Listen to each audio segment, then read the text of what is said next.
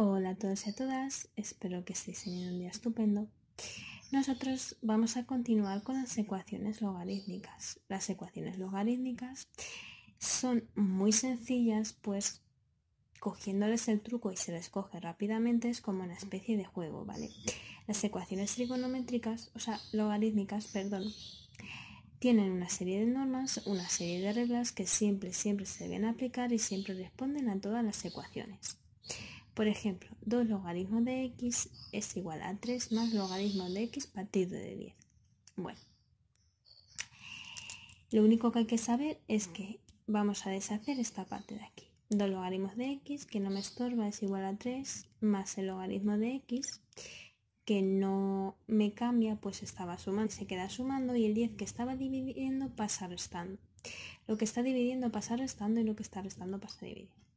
¿Vale? Siempre la inversa y con la misma norma. Entonces, los logaritmos de x es igual a 3 más logaritmo de x menos logaritmo de 10. Simplemente sería agrupar y es logaritmo de x es igual a 3 menos 1, logaritmo de x es igual a 2. Y como ya tengo lo que me vale, simplemente es elevar 10 a 2, que es lo mismo que x, y x me vale 100. Su solución es que x vale 100. En el siguiente ejemplo, un pelín más complicado, tenemos logaritmo de x más logaritmo de x más 3 más, perdón, igual a 2 logaritmos de x más 1. Bien, pues exactamente igual. Lo que está sumando cambia a multiplicando. Y al revés. Entonces, logaritmo de x por x más 3 es igual al logaritmo de x más 1 al cuadrado.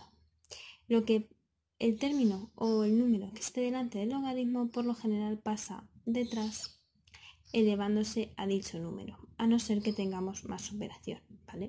Por lo tanto, nos queda x por x más 3 es igual a x al cuadrado, x más 1 al cuadrado. Nos queda, o parece que nos queda una ecuación de segundo grado, que como ya veremos al agrupar nos damos cuenta de que no, y nos queda simplemente una ecuación de primer grado y una ecuación muy sencilla, pues no queda que x menos 1 igual a 0 y x es igual a más 1. Pues su solución es que x es igual a más 1.